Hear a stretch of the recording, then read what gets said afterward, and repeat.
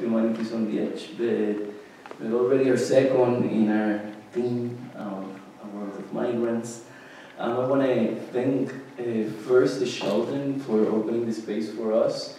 It's not an easy moment around the world, uh, especially for presidential events, and we're so lucky that the Sheldon has supported us so we can be in this um, um, open space um, um, during these pandemic days. Um, I'm also quite excited about the exhibitions in the Sheldon right now, and we're going to check some of them out and invite you to do. I already looked at the Nature of Waste exhibition, it's absolutely stunning. Um, um, so I invite you to do that. Um, Humanities on the Edge now is a speaker series that is on its 12th year, right? Um, um, and the founding members were uh, uh, Marco Abel, that is over there, and, and Roland, that is over there.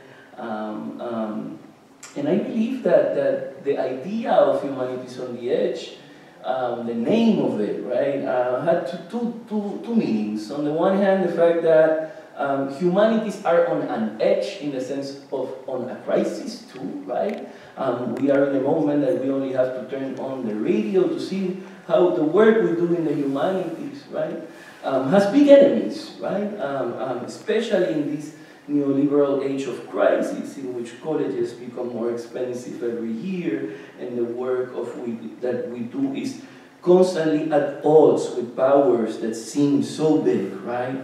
Um, um, um, the other sense of the of humanities on the edge of that title was on to think about the cutting edge, right?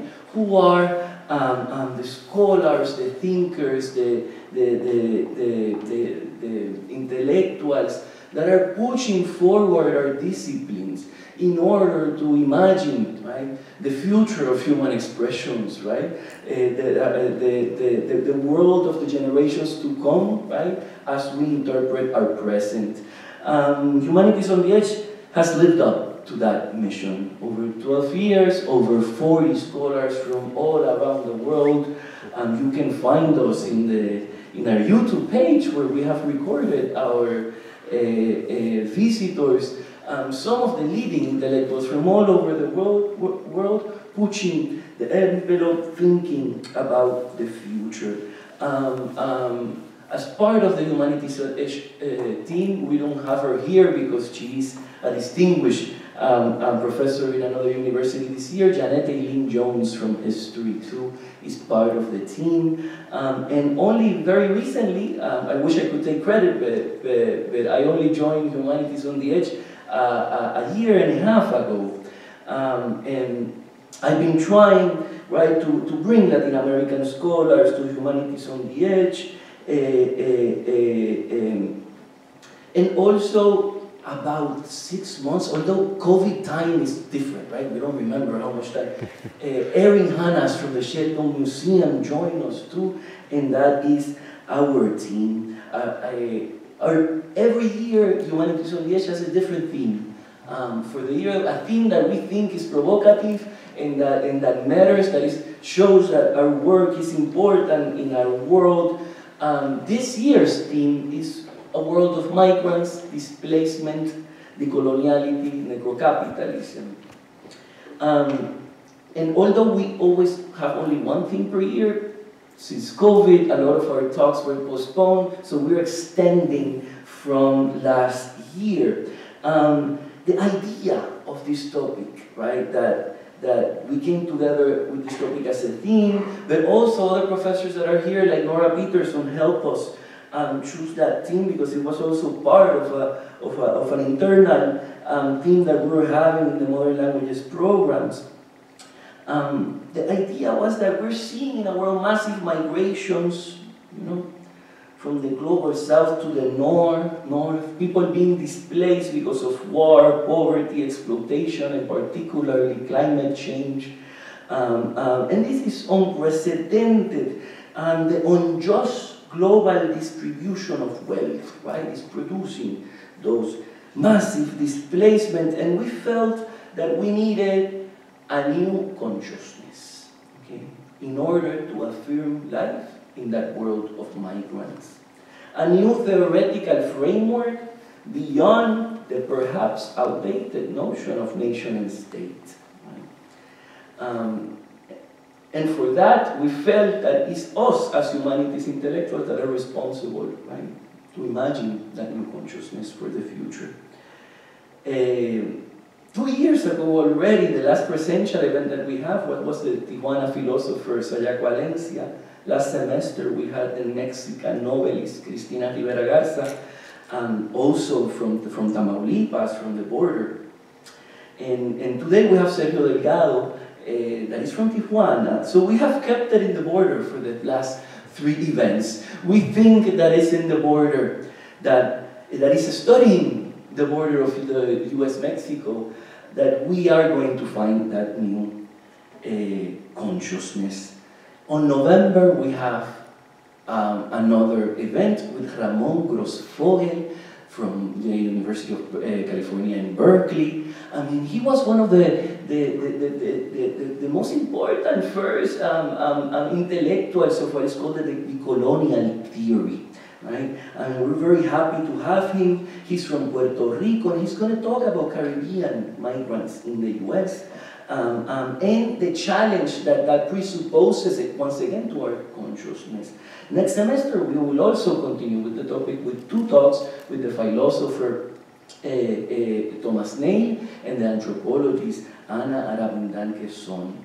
Um, it is my pleasure now to be introducing uh, to you Dr. Sergio Delgado Moya, one of honestly, one of the most intelligent people I know. Don't I mean, he's listening to me saying that, and now he's going to use it against me. Um, Sergio's work um, uh, researches the, the, the, the, archive of experimental and avant-garde aesthetics in Latin America. Rather than focusing on how capitalism changes art, which is what a lot of scholars do, his work focuses on the contrary, right? Um, um, um, on, on, on how art uh, uh, changes capitalism, right? Not how capitalism changes art, but how uh, art changes capitalism. Um, um, it is not even that, that art resists or combats capitalism in the work of Delgado, right? But it's how art transforms it, transforms it? And transforms his alienating and destructive qualities. Um, reading his work, we become convinced that art is a major player in the battle for a new, in a battle in the realm of consciousness. And that battle for the power in the realm of consciousness, that, that is a quote from Marx, and I'm quoting Marx there because Sergio quotes Marx a lot in his work, but he's always fighting with Marx. Why do you fight with Marx so much, Sergio? Um, um, and it is visceral empathy, and you know, that would, cheap psychoanalysis would tell you that which we fight too much, you know. Um, visceral empathy and delirious consumption are two of the concepts he has coined to describe the processes by which art changes our consciousness in the age of capitalism. Sergio is from Tijuana, as I said. The crossing of the border was a regular experience for him. He then uh, studied at the University of California in Berkeley, where he got his BA. He went on to um, do his PhD in Princeton, when I had the privilege of meeting him.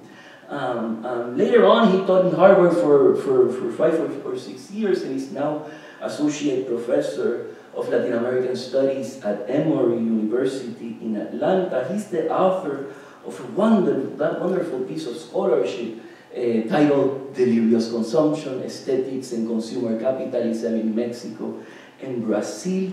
And most recently, uh, he is an Andy Warhol Fellow for the book that he's working on that he's going to present about today um, um, on sensationalism. Um, it is then uh, my absolute pleasure, pleasure to, to present you Sergio, and uh, please join me in welcoming um, Sergio Delgado.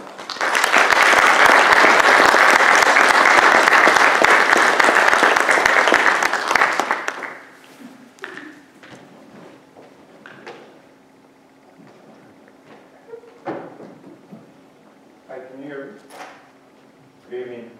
Uh, it's a think I've ever meant it as much as I mean it today. It's a pleasure to be here. uh, it's been a very challenging year for, for most of us, for all of us, I dare say. Um, and one of the, the, the great, um, the great little joys uh, that we as scholars have um, is taking chances and opportunities to go out and, and meet people like you, um, scholars, those interested in, in the arts and in the sciences, students, scholars in the making, and everyone who sort of converges in the university. And I'm really grateful to be here today, and I'm really grateful that you could make it too. I want to start by thanking the organizers of, of this series, Humanities on the Edge. I had the good fortune of spending some time reviewing some of the lectures of the speakers who've been part of the series, and I'm truly honored to be included in such an expansive and incisive selection of scholars who have joined the series over the years. I thank you very much for, for organizing and for extending this invitation to me. I want to thank in particular the staff, the donors, and the faculty members who are involved in making this uh, series happen. Uh, in particular, I'd like to thank Marco Abel, Roland Végső, um, Aaron Hannas, uh, my dear friend Otoniel Rosa, and Jeannette Jones for all their involvement and all the work they have put in the organization of this series. And I also want to thank, uh, to give out a special thanks to the graduate students who joined me earlier today for a conversation that took place about two hours before this series. We started uh, sharing some ideas about the things I'm going to talk about. Um, so I feel like uh, I feel warmed up for the for the lecture. I play uh, I play tennis with some regularity, and oftentimes you play even better if you have a chance to warm up with a, a willing and, and, and, joyful partner. And I feel that the graduate students who were present today for that conversation really helped me to sort of to get in the mind frame um, that, that I'm grateful to be in right now. So thank you to all of you who were present earlier. I um, I'm going to change the, the screen to put up a presentation for you. Just one second.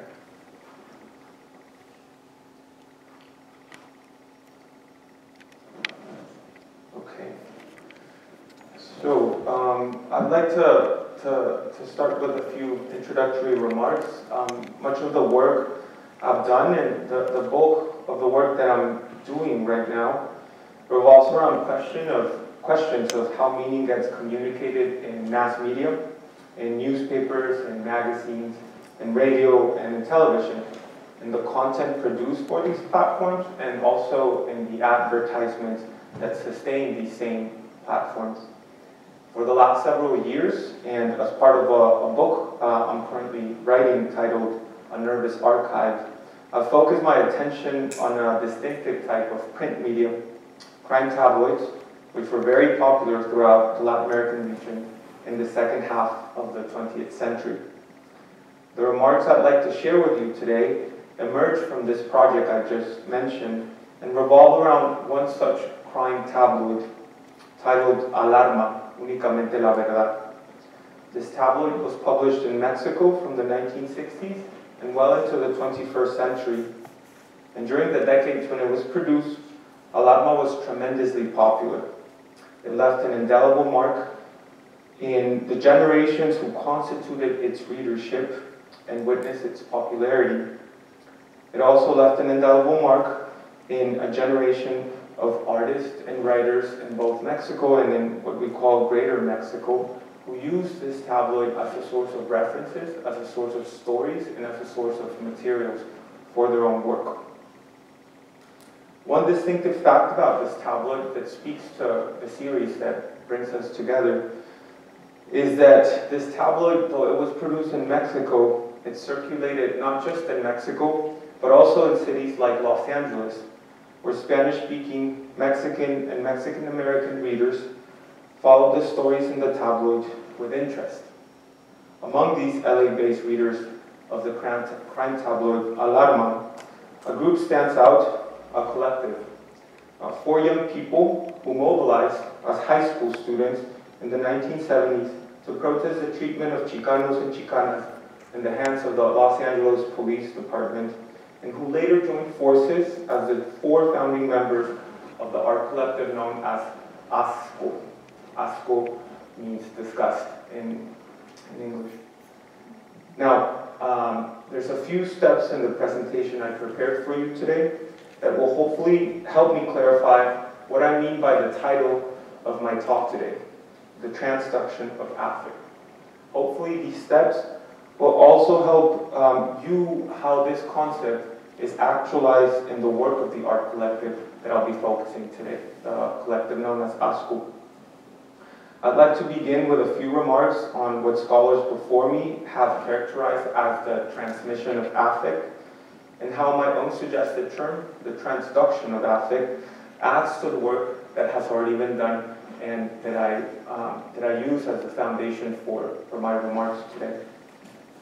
After that, I'd like to draw an overview of this collective, the collective known as ASCO, and the kinds of work they produce as Chicano children of Chicanos, Chicanas, and Mexican American immigrants living in the Los Angeles area in the 1970s and in the 1980s.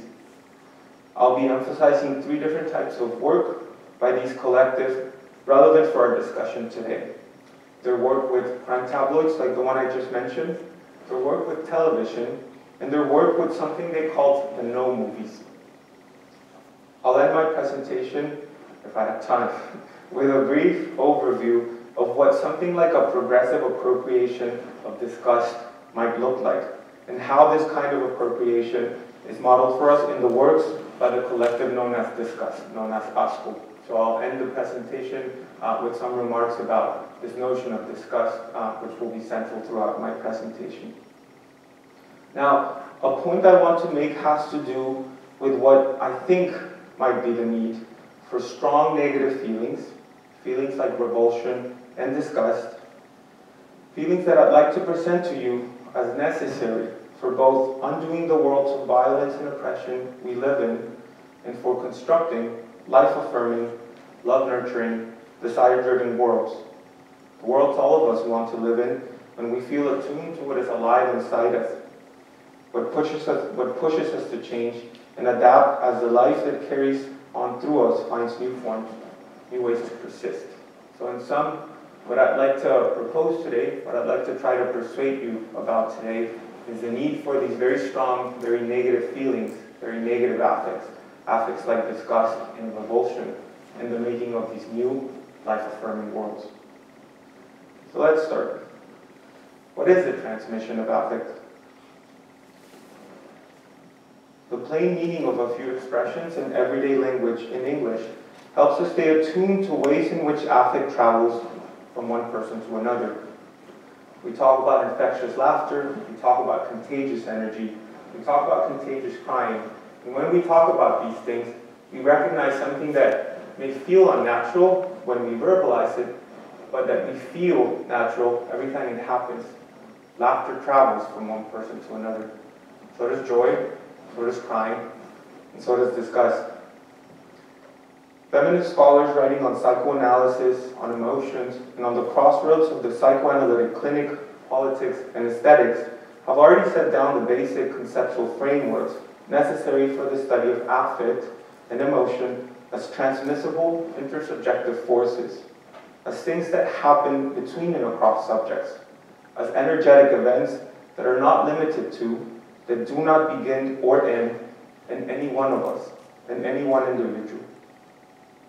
Another way of saying this is that these scholars, people like Jessica Benjamin, Teresa Brennan, Sara Ahmed, and Suely Rolnik, among others, all depart from a kind of Freudian premise of the individual psyche as the starting point, the origin of the drive and the affects.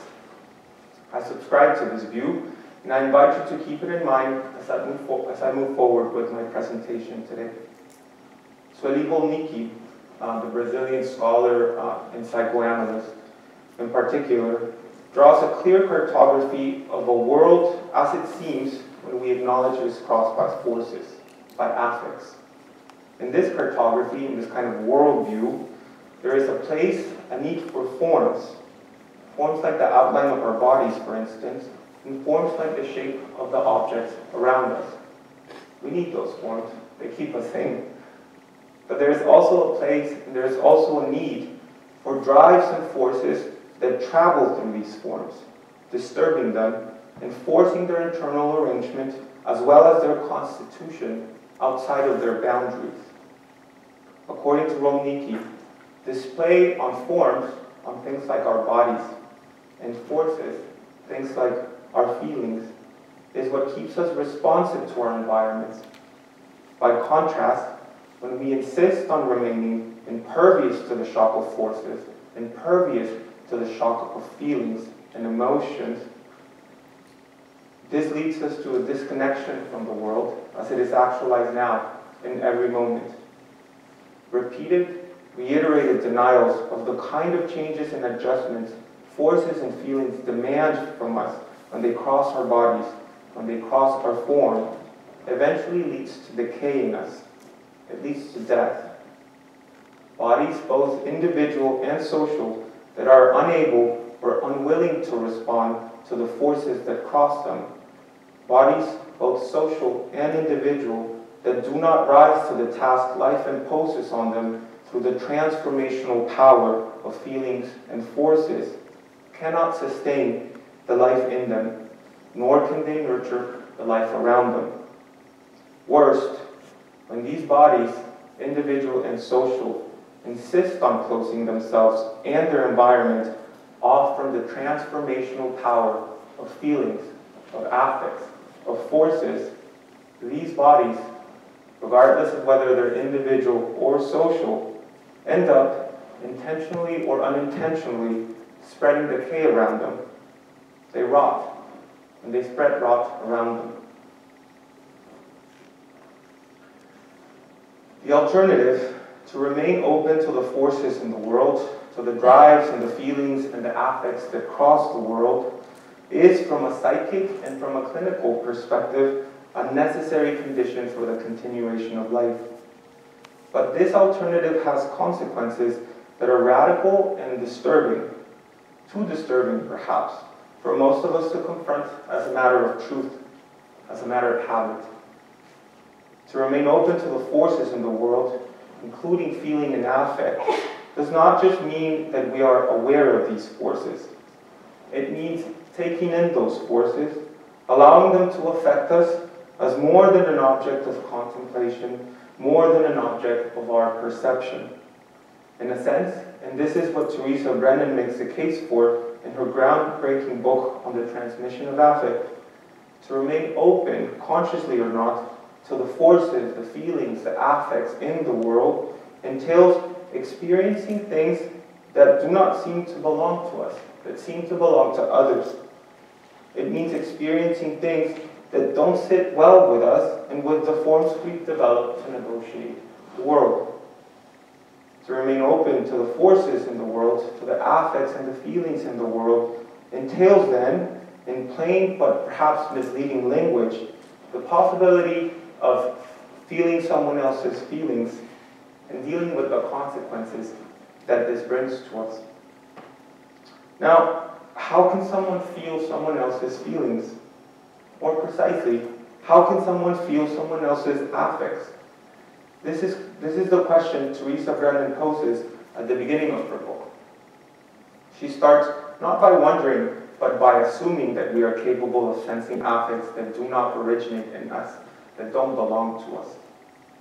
In words that echo Gloria Anzaldúa, uh, the groundbreaking Latina philosopher, Brennan asks, and I quote, Is there anyone who has not, at least once, walked into a room and felt the atmosphere? Grief, anxiety, nervousness, anger. These are the kind of things we can feel, the kind of things some of us often feel when we walk into a room full of others. These are the type of affects that can be transmitted and whose transmission Brennan sets out to understand. Her purpose is specific, ambitious. What Brennan wants to argue is that the, is that the transmission of affect, though social and psychological, is also responsible for physical, biochemical, and neurological changes in all the sentient beings implicated in the chain of transmission of affect. What Brennan wants to claim, in short, is, is that the transmission of feelings, the transmission of affect, is an objective event. inasmuch as it is, to the extent that it is, a subjective one.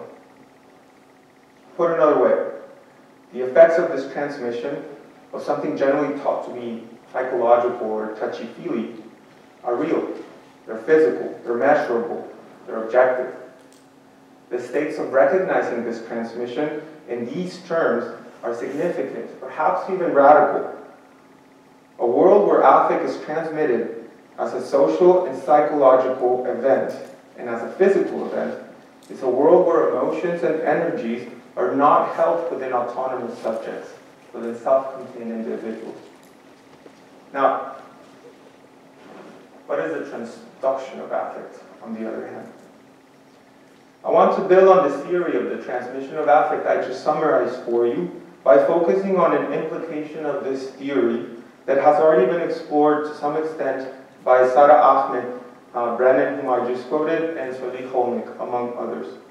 An implication that can perhaps be elaborated further as we seek to understand the place of feelings and the place of affect in the working of the world around us. The implication I want to explore is that when we transmit affects, when feelings get transmitted from one person to another, this does not simply constitute a form of travel from one person to another, from one form to another, from one body to another.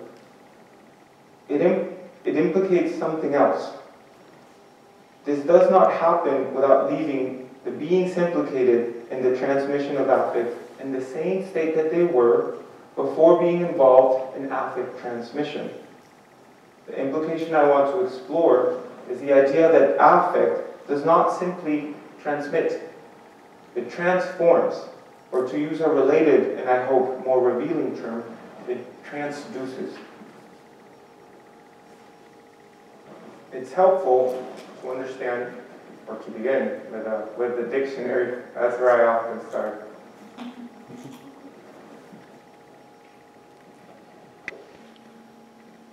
English, uh, the simplest and oldest meanings of this word transduction refer to the act of leading something or bringing it across from one place to another. In this sense, transduction shares much in common with uh, traducción, uh, or traduction, a relatively rare word in English uh, whose Spanish cognate, traducción, is used wisely to, uh, widely to describe the transference, the conveyance, the transmission, entailed by the act of translation. So in English, transduction just used to mean translation. Uh, that meaning has been uh, more or less lost. More recently, though, and these are the meanings um, I'd like us to, to keep in mind, transduction has acquired specialized meaning in genetics and in physiology. The way the term is used in these fields can enrich our own sense of it, of the term transduction, to describe the transference of feelings, the transference of affect across different subjects and across different objects. In the field of genetics, transduction refers to the process of transference of genetic material that takes place between two separate bacteria and that is facilitated by a virus. In this process, a virus using a bacterium as its host can remove part of that bacterium's DNA and later insert that portion of DNA into a different bacterium's genetic code. The process effectively introduces genetic code from one organism to another organism without the need for direct contact between those two organisms. So in short, um, this process, which sounds very simple, it's actually quite extraordinary, even magical. There's a possibility of genetic material trans, um, uh, trans, being transmitted or traveling between two different entities without those entities even touching each other. And once that genetic material travels from one entity to another, the entity receiving that DNA, receiving that message, so to speak, changes its whole genetic composition. So again, quite extraordinary. In physiology, transduction or sensory transduction is the process by which energy received by an organism in the form of sensory stimulus is converted into action potentials, integrated into the nervous system, and then processed as a sensory response or action. Different sensory systems, visual, auditory, olfactory, somatosensory, have different transduction mechanisms and pathways. through each of these mechanisms and in each of these pathways. The same effective, seemingly magical transference of energy takes place from one place to another, from a sensory event to a physiological response, from an act producing stimulus to a stimulus appropriate action. A sense, a feeling, an affect that belongs to someone or originates somewhere, travels, transmits, passes on to someone or to something else. And in the process, it transforms them. So, same idea, but as it relates to sense perception. Now, what I mean to say when I use this term, the term the transduction of affect, is modeled after the meaning transduction has in physiology, but especially in genetics.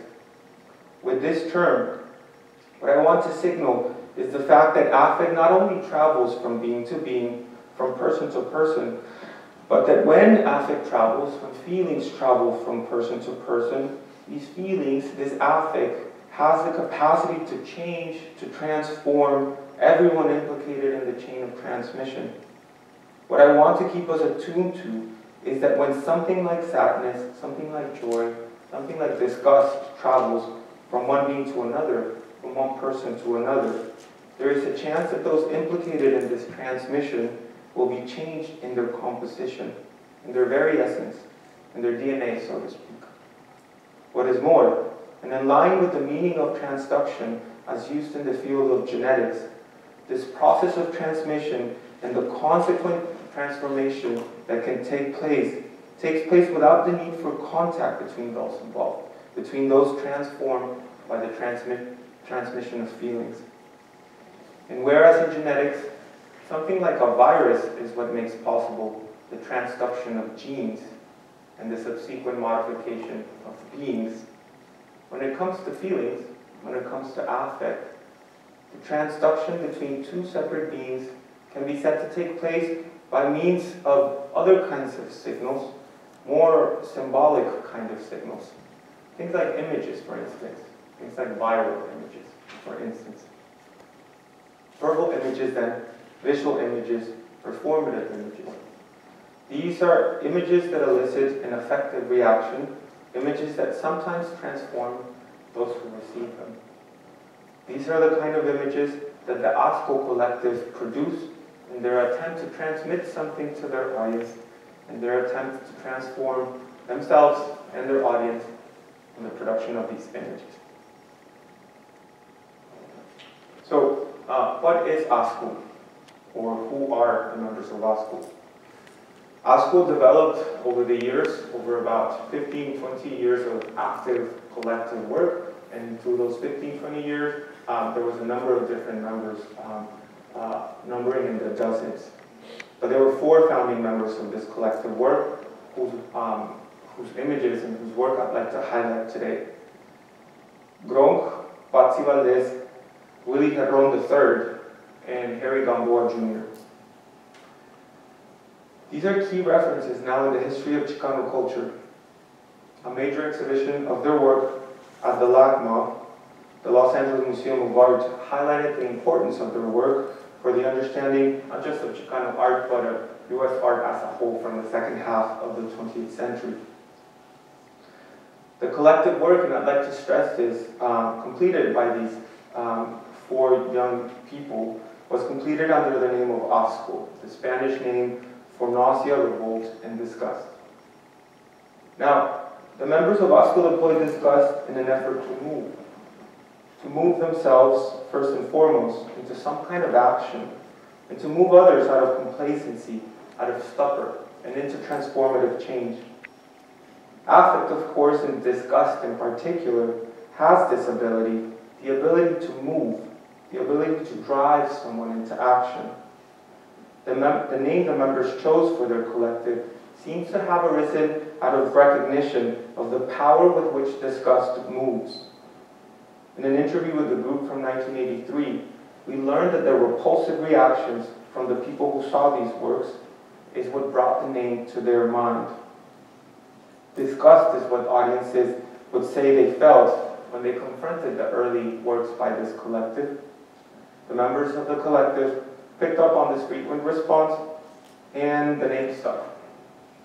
the feeling behind the name, the feeling of cultivated repulsion and directed disgust, characterizes much of their collective work. And here I want to stress, these were high school students when they begun um, this kind of uh, organized collective work. And by the time they started doing the work that I'll be discussing today, they were just about as old as many of our older undergraduate um, uh, students here and as old as many of our graduate students here.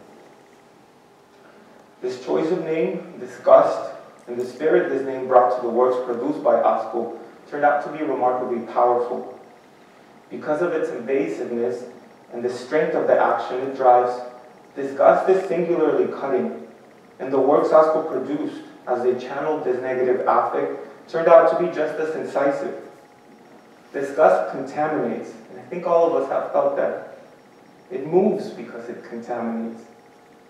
It is not just that an object that causes disgust, a thing, a person, or an event that gives rise to disgust, comes across as potentially contaminating. By the time we feel disgust, it is already too late. We've already been sickened by the object of disgust, by its sight and its smell, by its texture, and so contaminated by it. The profound aversion that comes from disgust rests on this kind of intrusion, on this loathsome intimacy, this feeling that whatever is causing disgust is not just, no longer just outside of us. It is already somehow inside us, upper nose, inner stomach. Though playful and youthful, and the word playful and youthful, even though making them sound very stern, ASCO Collective, their members were also very glamorous, they were also very ironic, and they were funny. The members of Disgust deployed, the members of ASCO deployed Disgust and negative affect for specific purposes. They wanted to denounce the social harms that visited upon their communities and to work through destructive forms of violence that afflicted particular members of the group. Gun and gang violence, drug misuse, Latino deaths in the Vietnam War. As many of you know, uh, Latinos disproportionately died in the battlefronts, the battle lines of the Vietnam War, in numbers that did not reflect either um, their participation in the army or their percentage of, of the population in the United States domestic violence, all these kinds of violence were very much present in the minds of the members of ASCO as they went about their collective work in the 1970s and in the 1980s. Performance was a common instrument of expression of most of their production, an instrument that all members of the ASCO collective had a chance to hone as active participants in the Chicano movement and the Chicano public protests that took place in Los Angeles in the 1960s and in the 1970s. Among their first uh, performances, protest performances, um, was a procession that was organized during Christmas Day that consisted in the members of ASCO disguising themselves as figures of the Nativity in a very sort of um, uh in a very sort of um, attention-grabbing and kind of freaky way. They carried a cross made out of cardboard and they dropped the cross in front of the recruitment center uh, for the Army that was visibly open uh, in the very center of the most heavily Latino populated area of downtown Los Angeles. That's the kind of work that they were doing. Protests and other forms of exhibitionism for the purpose of political mobilization is what set down the basis of what will become the performances of ASCO. And here it becomes important, I think, to understand the genealogy of performance of this kind of performance, of critical ethnic performance, in the ways Coco Fusco and Jose Esteban Munoz teaches us to understand it. Not in Dada, not in surrealism, or in any other modernist origin story, but in the tactical and coerced, coerced performances that captured, enslaved, and oppressed subjects have been performing for colonial power for centuries now. So the point here is that as we sort of think in a more sort of art historical way of what ASCO is and what kind of art they were doing, if we're going to call their art performance and we're going to look for precursors to that art, we should resist the temptation to somehow inscribe them in a modernist uh, lineage of performance art that goes back to something like Dada and Surrealism. And instead we should look to this kind of performance, the performance um, the real activists, that people on the ground in the streets were organizing in the 1960s and before that, deploying things like visibility, dress, performance, um, not for uh, inscription in any kind of uh, art history, but for the purpose of, of change, of social change.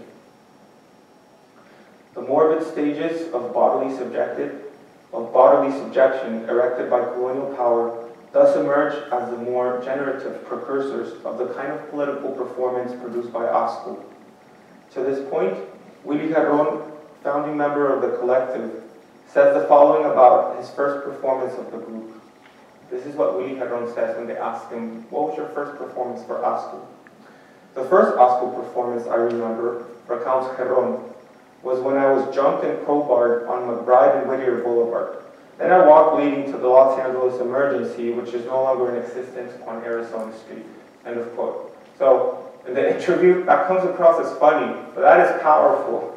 You're asking an artist, what is your first performance? What is your first work of performance art? And his answer is, my first work of performance art was that one time I was jumped in the street and I walked leading to a hospital that no longer exists in Los Angeles. It's, a, it's, it's, it's pretty wild, but it's, it's pretty funny. now, let me move on to the kind of work that this collective, the ASCO collective, was doing with media. Uh, and through this, I hope to show how they were using disgust to kind of shape the kind of conversations they were trying to shape. I'll start with um, uh, the work they were doing with tabloids, with things like crime tabloids. Um, early, and just uh, as a sort of note, what's a crime tabloid? So, uh, as, as, as all of you know, a tabloid is a form of newspaper. It has a certain kind of format it's not quite, it doesn't open like a regular sort of issue of a newspaper. It almost functions like a magazine. It's a little larger and it's often associated with forms of journalism that are very inexpensive, that are very cheap, and that are often said to be of no value or of no worth. In the United States, we have a, a very um, visible kind of tabloid, that's the National Enquirer. Um, the crime tabloids that I'm talking about look like that, but they're fundamentally different. They focus more on covering crime events as they happen in a local population. So when I say crime tabloid, what I want you to have in mind is a newspaper that again is very inexpensive, it's associated with a form of journalism that's a little flaky, a little lewd, a little manipulative. Um, and in Latin America, very, very local, focused on local crime events that happen in a particular uh, city or a particular town. Early ASCO performances, especially the ones that deal explicitly with violence, blur the line between stage events and events as they unfold in everyday life. It is in these performances, the ones that grapple with everyday violence and Chicano life in Los Angeles, that the dialogue between ASCO artists and crime tabloids become more explicit. No other popular print medium in modern print culture channels and exploits the range of negative affects things like anger, fear, anxiety, sadness, and disgust, with the frequency and efficacy that crime tabloids do. The most emblematic kind of sensationalist publication in Latin America, modern print culture, is the crime tabloid. What you have on the screen here is, on the left side, a photo novel that was a spin-off of the most popular crime tabloid in Mexico, Casos de Alarma. So on the left side, you have a photo novel. These are not very common now but imagine something like a comic. Instead of drawing, so what you have are photos representing the images in this story. It's a format that was very popular in the second half of the 20th century in Latin America, and that is uh, it's no longer as popular. In the second half of the 20th century, in places like Mexico and in Los Angeles, these kinds of tabloids were tremendously popular. Uh, I'll give you an example. In a place like Mexico in the 1950s, 60s, 70s, and up to the 1980s, 90s, and up to the 2010s, and up to this day. The newspapers that cover crime, things like crime tabloids, the three more popular ones, publish three times the number of issues that the national newspapers publish. So these are tabloids, even though they might look, you know, very weird and, you know, kind of unusual, these are print publications that, especially in the 1950s, 60s, and 70s, they were circulating widely, massively to a point that no national newspaper could even imagine circulating. These were tremendously popular crime tabloids. Well into this century, the 21st century, these kinds of tabloids remain popular.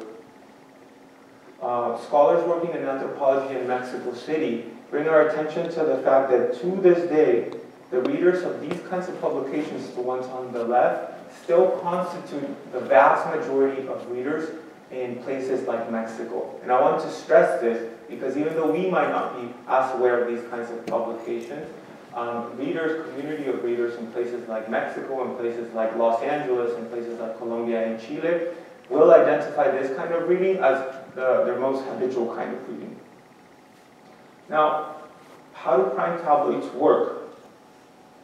In Latin America and elsewhere, the wild popularity of crime tabloids is both a symptom and an effect of something fascinating and something frequently misunderstood. Something that is also, strangely for some of us, um, something of a feared phenomenon. The emergence of mass communities of readers. The crime tabloid consumed and referenced by the ASCO collective, Alarma, and the photo novel they also referenced, Casos de Alarma, emerged precisely around the time that literacy campaigns uh, in Mexico start yielding results.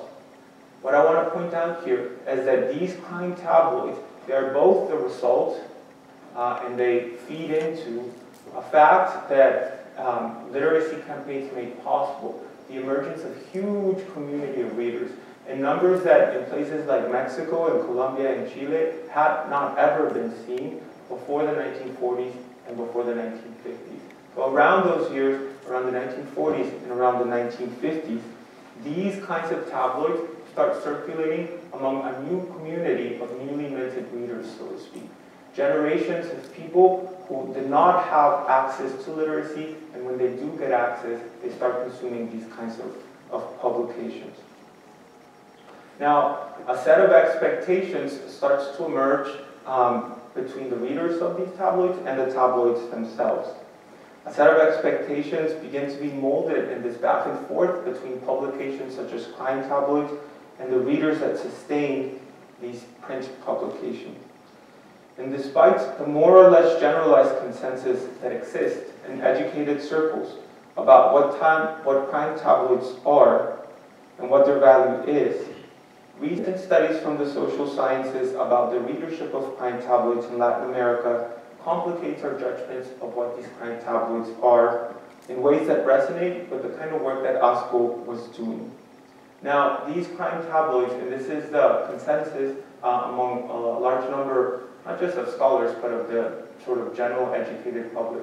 The consensus is that these type of uh, crime tabloids, they're really, they might be entertaining and there might be um, sort of uh, thrilling and fascinating, but they're worthless. They're, they're really not sort of, they're, not uh, of any kind of value. Um, they're certainly not worth of, of any kind of um, serious study. And they also um, constitute, according to this consensus, a very strong and powerful tool of manipulation. What these crime tabloids do is sort of um, teeter the attention, teeter the, the fascination of readers in order to attract them um, and in a way that manipulates these readers. Now, as I said, recent studies in social sciences are starting to complicate our view of these crime tabloids and how they work. In an ethnographic study of readers of La Cuarta, the most popular crime tabloid published in Chile during the years of the Augusto Pinochet dictatorship, Guillermo Sunkel draws our attention to the way a term like sensationalism um, is used among readers of the tabloid. Now, sensationalism is a term that we use when we're talking about these kinds of publications. And it's a kind of a shorthand that helps us to distinguish between a certain kind of journalism that we value for being factual and for being substantive and for being responsible, and another kind of journalism, sensationalist journalism, that we dismiss for being too bloody or too lewd or not factual enough or somehow irresponsible about the work that they do in journalism. Now, what Guillermo Sunkel found out in his work with the leadership of this one crime tabloid in Chile is that this term, sensationalism, has no use, it has no valence, so to speak, among the actual readers of the tabloid. When these readers were asked to describe what the tabloid was like, when they were asked to describe what something like this photo novel uh, represented for them, the kind of words that came to mind were words like uh, factual, representative, and somehow uh, in proximity to the realities that the readers were living. So again, uh, when the social scientist goes out there in the field, so to speak, and asks people, how do you feel about this um, crime tabloid? How do you feel about this tabloid newspaper that focuses on crime? Readers insist on highlighting the veracity of this crime tabloid, the way in which this crime tabloid captures their own reality. Now, that term sensationalist is used and does have value, but it has value among people like us.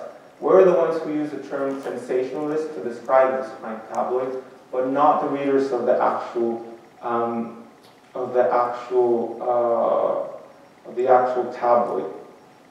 Now, um, as Sunkel argues, what seems to be at work in this difference, what seems to be at work in this perception of veracity, this attribution of truth that the readers of the tabloid give to the tabloid, is a way of listening or a way of reading, a community of readers who believe in the tabloid's ability to convey um, truth factually. And to do that, not by avoiding the explicit representation of violence, but by focusing on the explicit representation of violence. Readers with access to higher education and socially privileged readers, on the other hand, more, more generally tend to find no such value in these kinds of publications. This is what Eduardo Nivón a scholar working on the Mexican side of tabloid publications, finds in his study of the reading practices and preferences of social groups scattered across the economic and educational spectrum. Now, Nivón Bolívar, uh, he presents us with yet another example of how this sort of divide, um, how this divide takes place. And here, I'm going to put up a quote in Spanish for those of you uh, who can and would like to read it in Spanish, but I'll walk um, all of us through the point that Eduardo Nivón Bolívar wants to make um, uh, as part of my presentation. Uh, Nibon Bolivar, like Sunkel, is interested in exploring the seeming division, on the one hand, of those who believe that crime tabloids have no value, that they're just lewd and sensationalist, and on the other hand, the perception of those readers who actually consume the tabloid and who describe the value of the tabloid as being factual and as being representative. Uh, Nivón Bolívar arrives uh, at much the same conclusions that Guillermo Sunkel does in the context of Chile, but he presents this one anecdote that I thought was very powerful of this, this kind of difference that they're both exploring. So they're both talking about crime tabloids and the way they're perceived differently by these two groups of readers. And he finds this one young man in particular, a man of sort of a middle class, upper middle class upbringing, who was in contact with his family and who had a problem with misuse of drugs.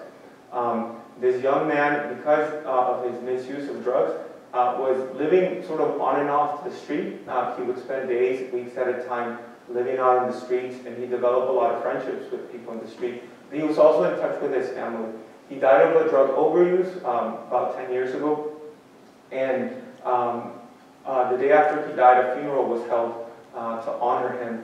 To that funeral, um, two groups of people um, were present on one side of the room, so to speak, there was his family, again, members of a, a middle class, upper middle class family in Mexico were mourning the, the, the, death of this young man. But then his friends from the street uh, slowly started uh, arriving too, uh, and they started occupying the other half of the room, so to speak.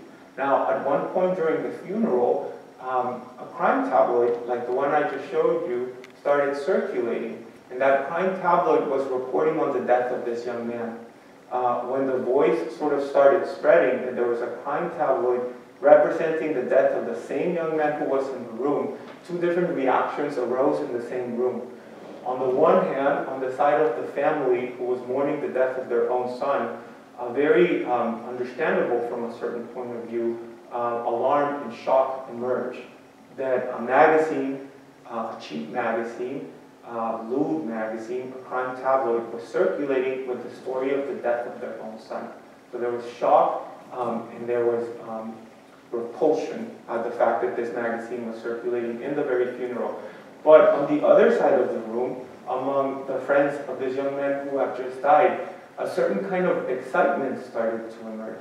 Excitement because their friend, their friend who had died on the streets of a drug overuse, was being made visible in a publication that thousands of readers were reading at the same time. Not only that, but the group of uh, drug misusers and uh, people living in the streets that were there in the funeral started to talk about how this magazine helped them understand other deaths just like that. So keep in mind that those two very different reactions as the kind of um, communities of reading that these social scientists want us to, to keep in mind. Now, with that difference and keeping in mind those two sides of the room, what I want to ask you is, how did this difference come about? How does one crime tablet get to be perceived so differently, on the one hand by educated uh, middle and upper middle class readers, and on the other hand by readers who have some kind of marginal or vulnerable situation? Or rather, what do we learn about structures of knowledge and structures of power when we inquire about the social and historical differences underpinning the differences between these two communities? How is it that one reading community, wealthier and more educated, perceive crime tabloids as manipulative and deceitful, lewd and sensationalist, while another reading community, poorer, less educated, more vulnerable, perceives the same kind of publication as factual and representative. Sensibilities, as we know, like every exterior and interior thing around us, have a history. They are socially molded, culturally shaped, economically determined. As such, our perspectives about what constitutes a more or less exploitative, a more or less ethical framing of violence ought to take into account not just the known or presumed perspective of those victimized by violence, but also, and more importantly, the prejudices and blind spots that play into our own judgment of what is right and what is wrong with publications like Alarma and their way of framing both violence and the popular, marginal, often female, often effeminate, always poor, and always marginalized subjects who are affected by that violence and portrayed in these publications. The dominant characterization of crime tabloids like Alarma takes the exploitative, manipulative, and more or less worthless nature of these kinds of publications as a natural fact. Further inquiry into these publications makes necessary the kind of critical appropriation of crime tabloids performed by Alarma. It compels us to revisit this characterization and figure out which structures of knowledge, which structures of power are benefiting by the wholesale dismissal and condemnation of these kinds of publications. Now, one thing that becomes clear, at least to me, upon further analysis of these publications and the readings communities that either embrace or reject these publications, is that unintentionally or not, the negative framing of the subjects who appear in these publications, performed by the producers of these publications, ends up being perpetuated by educated readers, by those of us who insist on believing that when it comes to these publications, there is nothing there to redeem, nothing there to see, but exploitative violence and manipulation.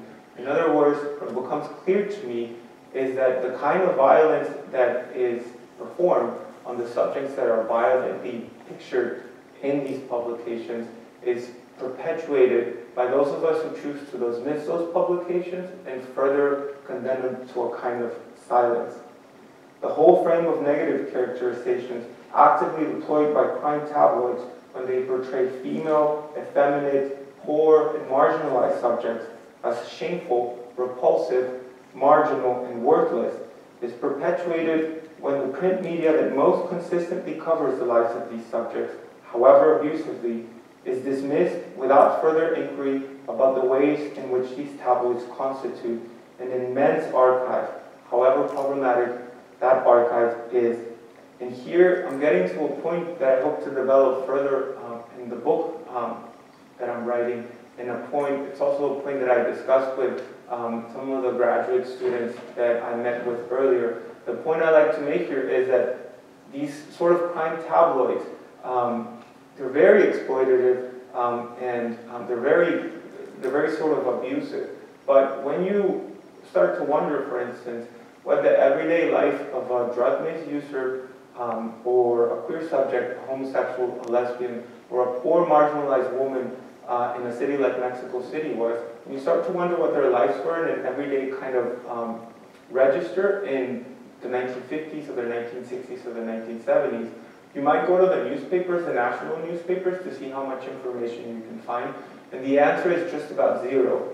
There's no portraits, there's no stories, there's no names, there's no coverage, there's no mention of anyone who was poor, marginalized, effeminate, or otherwise vulnerable, except as a kind of number, except as a kind of cipher.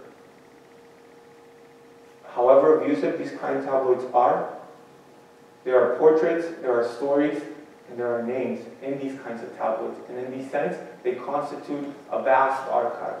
An archive that I'm trying to understand as problematic, but also useful as we try to sort of read through this archive for the stories that are not to be found anywhere else in journalism of the period. The use of the same kind of crime tabloids, the use of this nervous archive by artists like the members of ASCO constitutes an opportunity, I think, or rather it presents a responsibility for us to understand how these tabloids are read and mediated by the reading communities that consume them. The shame of belonging, so to speak, in the pages of a tabloid is emphatically appropriated and disseminated among the members of ASCO. Now, um, to conclude my remarks today, I want to I want to, this is a picture, this is not a real dead person, by the way, that's spaghetti sauce on that guy's tank top. So uh, I'll be very brief. I think uh, um, I, I want to sort of um, walk you through the implications of this, this argument I'm trying to make. So this is a this is a picture that was quite scandalous, even though it's just spaghetti sauce when it was published, because it sort of represents um, uh, this, this, Latino man dying. Um, this other picture right here, this one's a little bit more complicated. It's a, a performance organized by the group.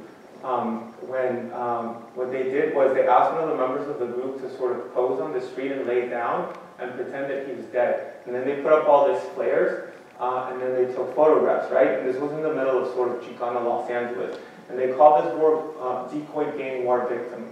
Um, now, they took those photographs, this is in 1974, and then they sent these photographs to media outlets, and one TV station actually picked up the photographs and reported on the photograph as a real sort of gang uh, death. And then after reporting on that photograph, um, they, um, they sort of added that this was evidence of how dangerous and how riddled with violence Chicano communities were in Los Angeles. And what they were doing, they were basically sort of deploying shame in the way that I'm interested in describing to you as a way to characterize um, these communities.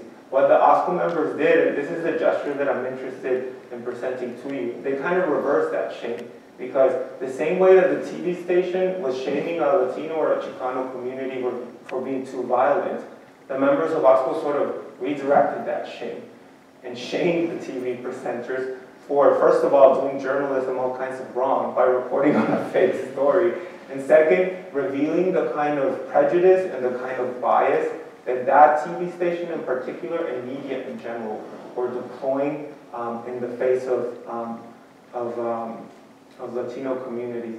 And this is the kind of sort of redirection or transduction of affect that I'm interested in exploring uh, with you. Uh, I'll finish my uh, presentation with this quote. This is a quote, a recent quote by um, a couple of um, figures from uh, conservative media here in the United States. Um, editor Seth Barron in conversation with Tucker Carlson for Fox News. I won't read the quote, um, but what this quote does, um, in no uncertain terms, is to kind of deploy disgust and deploy shame, deploy the kind of negative affects that are um, used in crime tabloids against a certain community. And I think the kind of work that ASCO is doing um, sort of, it, it, leads me and it leads other scholars working in legal studies to wonder whether, whether it isn't time now to consider something like a progressive appropriation of disgust. I think what the work of ASCO is showing in these very playful and very ludic um, uses of disgust and shame and negative affect is making us wonder uh, the extent to which we can use those negative affects, to extent to which we perhaps need to use those negative affects to undo those structures of oppression and undo those structures of violence. And what I mean when I said that, when I say that, is um, to, I wonder, the members of ASCO wonder, and other scholars working on the progressive appropriation have discussed wonder, we all sort of wonder whether it isn't time to not only um, to, to, to not only propose a sort of positive and humanizing valuation of those communities that have been oppressed, but also and at the same time deploy the kind of powerful thought-laden negative affects and negative judgments such as uh, shame and disgust towards those structures and towards those figures that are upholding the kind of violence that afflicts migrant communities, racialized communities, uh, Latino communities, and vulnerable communities as a whole. Thank you.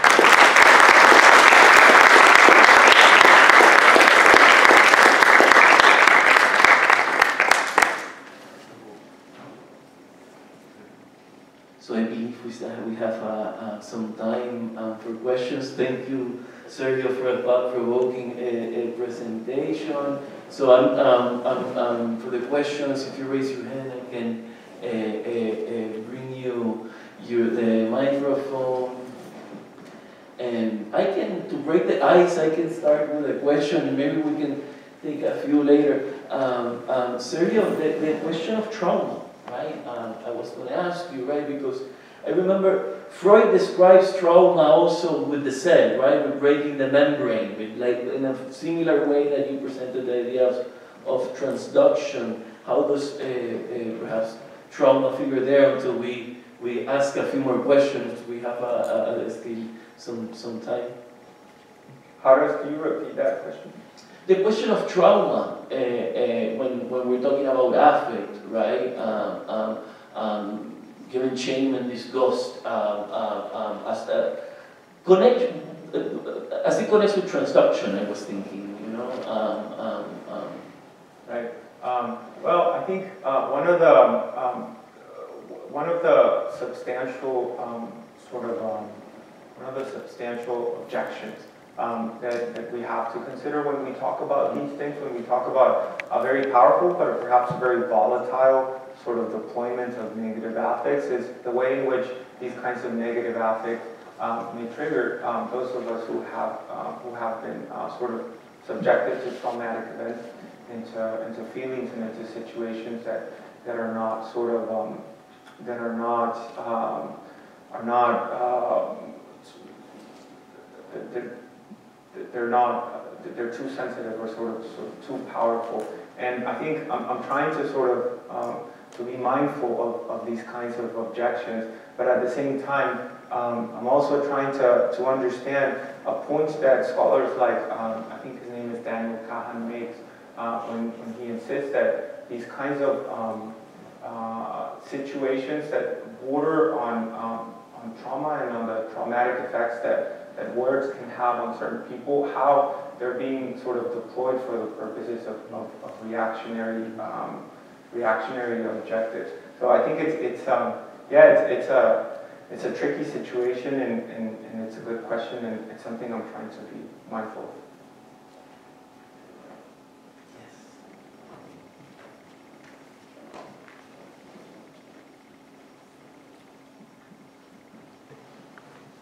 Um, thank you for being here. Um, I had a question. Um, so you mentioned that these tabloids were circulated for like decades. Um, through that, was the violence and oppression towards these marginalized groups um, like desensitized? Like, did, was it for the viewers and readers?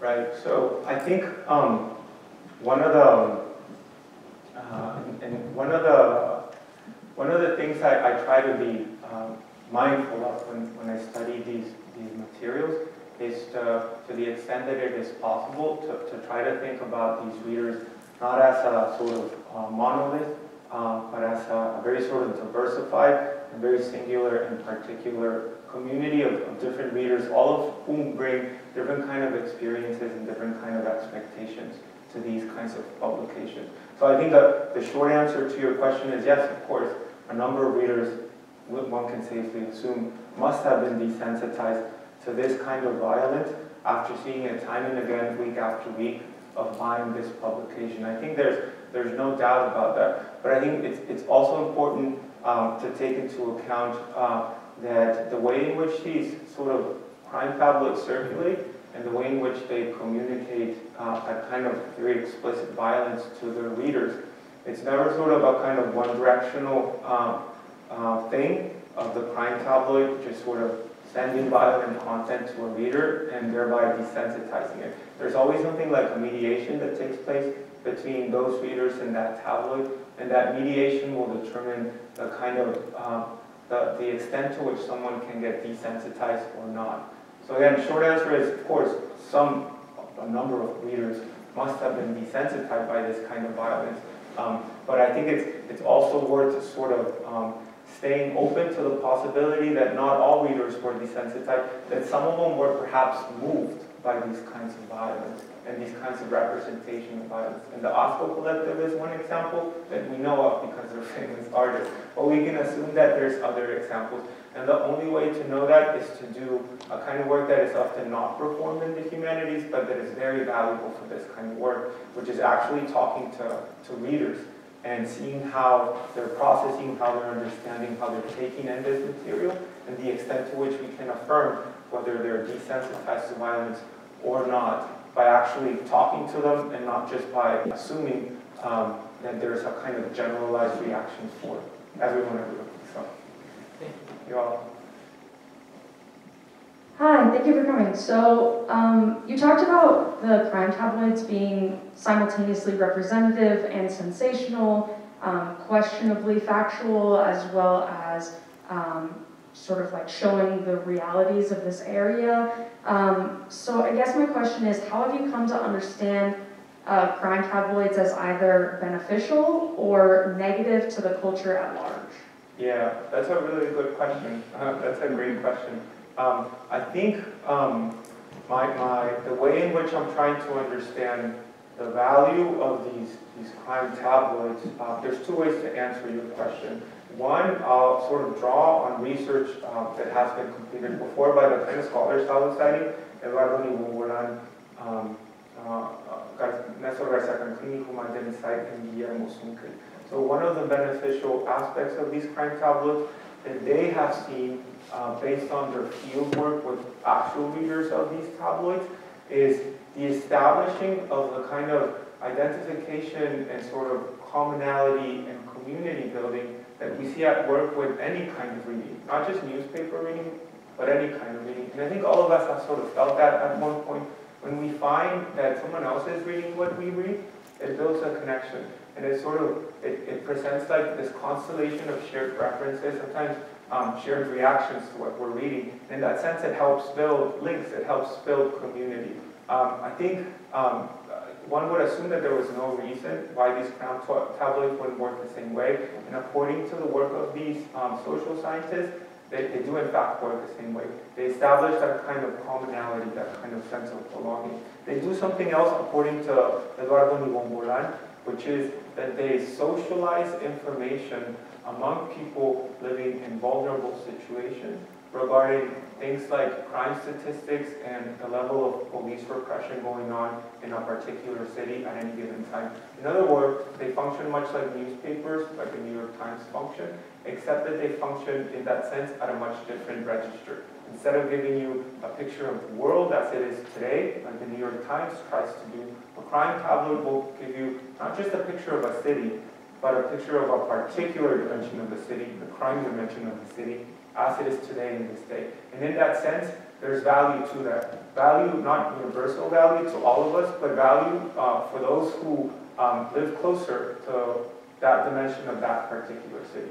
So I think there's value in that sense. From my perspective, um, there's also historical value, and that's the kind of work that I'm trying to do with this book, in the sense that um, the kind of uh, the, the, kind of portraits even, the kind of photographs that are published by these crime tabloids, um, they're nowhere to be found in newspapers of record, in national newspapers. The kind of stories that are found there, the kind of um, names that are found there, the kind of communities that are represented, um, are nowhere to be found in other newspapers. Now, of course, and I insist on this, the way in which poor and marginalized and queer subjects are represented in these crime tabloids, it's very exploitative, it's very violent, and it's very manipulative. But the fact that there was a trace of this life left in those crime tabloids, from my point of view, should at least make us, make us wonder whether we can uh, revisit these kinds of publications as a kind of nervous archive. An archive that you can't just enter into, assuming you're going to get the information that you need. A kind of archive that still requires tools that we're developing now. The kind of tools that will allow us to recover some of those stories without sidelining the violence and the exploitation that made possible the preservation of those stories. So that's the value that I find from those crime tablets. Did Oh, I Thank you.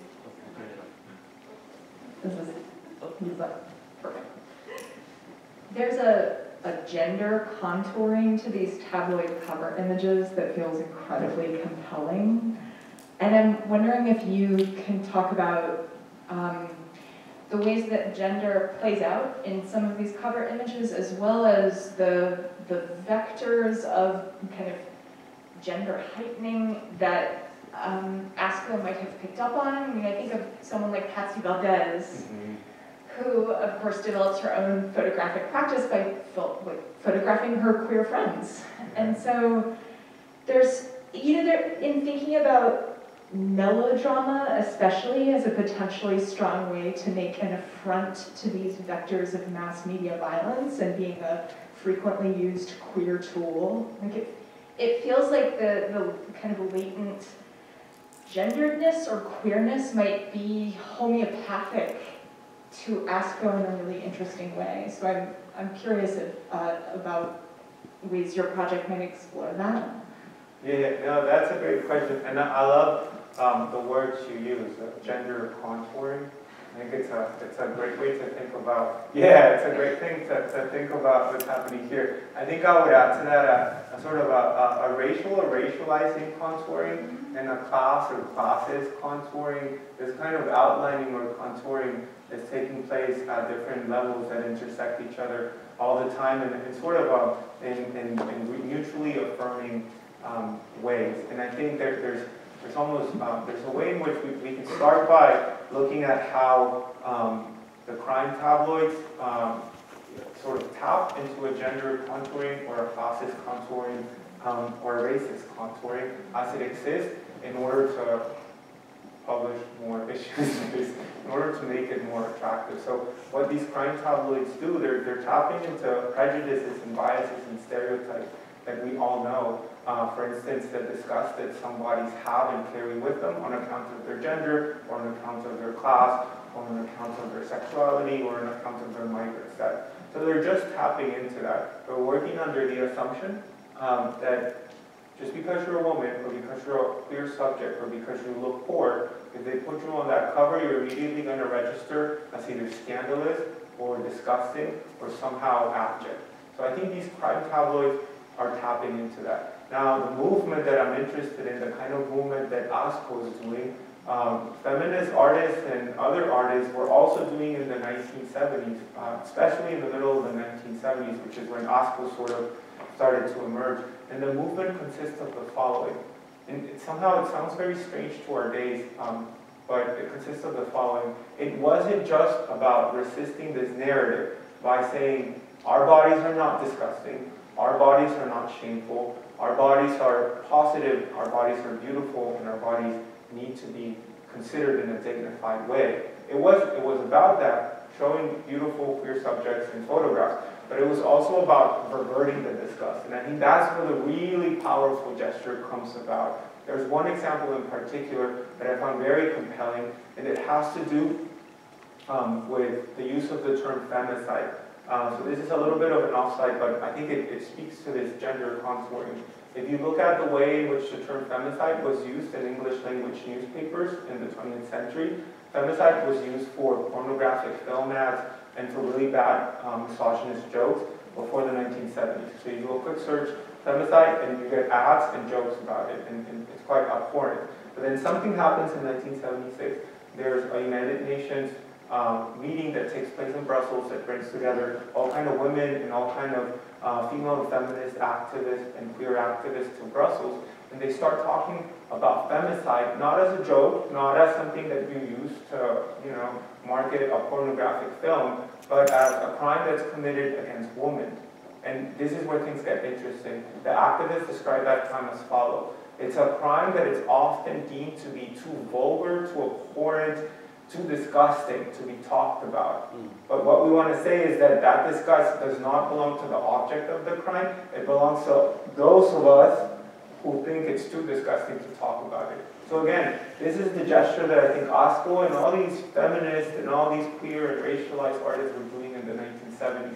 Not just resisting the disgust and the shame that comes towards them by affirming the beauty and affirming the dignity that they rightfully deserve, but also by wondering, how about not just affirming our beauty and our dignity, but using that shame and that disgust in a way that help us undo those racist and sexist structures. Um, and as a sort of um, add-on to that, it's worth remembering when we talk about shame and disgust, we're not talking about something foreign. Shame and disgust are fundamental features of how we structure legal systems and how we enforce those legal systems.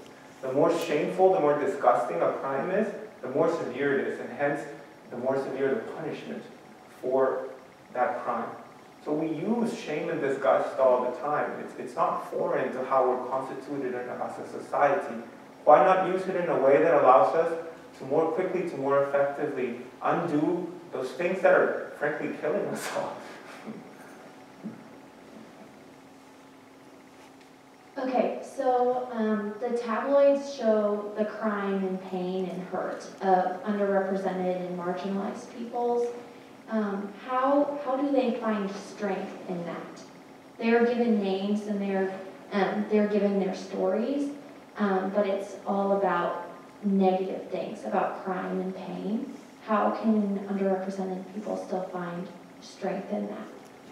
So I'll, I'll, I'll try to answer with, uh, with concrete examples. I think it's, it's worth remembering about this, this example I, I try to summarize about the funeral home. Um, I think one source of strength is, is visibility. Um, there's very few of us who are privileged enough or empowered enough to not feel um, seen and somehow giddy about appearing in some kind of mass print publication or appearing in an Instagram post that is shared by a few dozen people.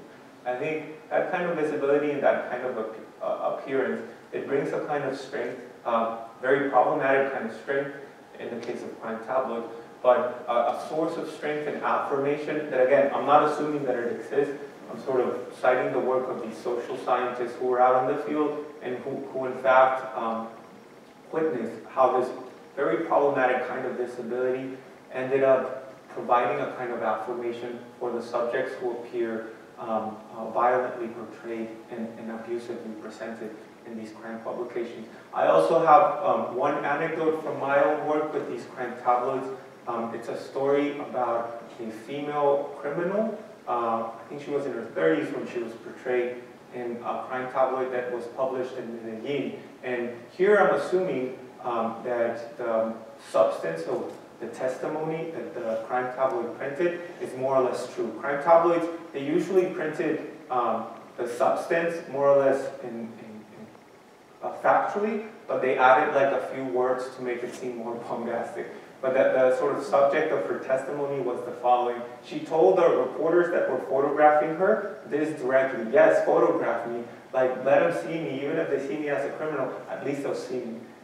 This was the same kind of reaction that queer subjects um, whose appearance in these crime tabloids was recently sort of uh, anthologized, put together in a beautiful book called Mujercitos, published by Susana Vargas Cervantes. This is the same reaction that queer subjects, transvestites, transsexual, and homosexual subjects showed in the face of this camera, the crime tabloid camera, when the crime tabloid camera was there to cover their stories and make fun of them. You would think that if someone shows up to cover your story, and make fun of you, you would be you'd be pretty upset, right? But these subjects were negotiating their own relationship to that camera. They were not only glad that the camera was there, they were posing. And the kind of coverage of these queer subjects, again, it's very abusive. It has all kinds of homophobic jokes, but the subject themselves, in a very conscious way, where negotiating that relationship with the camera and posing in ways that I cannot begin to describe to you because they're absolutely fabulous. Clearly, there was not a kind of one-way sort of direction of power there. These are subjects that were, in a very kind of um, subversive way, using that moment of capture by the photographic camera to try to seduce whoever was behind that camera or whoever was in front of that picture. And the seduction, quite frankly, worked because there's so many stories of queer subjects in that tabloid alarma that clearly the readers were, you know, asking for more. So um, that's that's a kind of empowering. And again, I, this is all funny and it's all funny jokes, but it, it's a complicated um, it's a complicated matter how it, it provides uh, affirmation in the face of so much exploitation. I see a lot of hands, and I know we want to continue the conversation, but I'm afraid we have to stop here because uh, we have to uh, leave the uh, auditorium by seven. But we con can continue the conversation um, right outside. Thank you, Sergio, so much for this.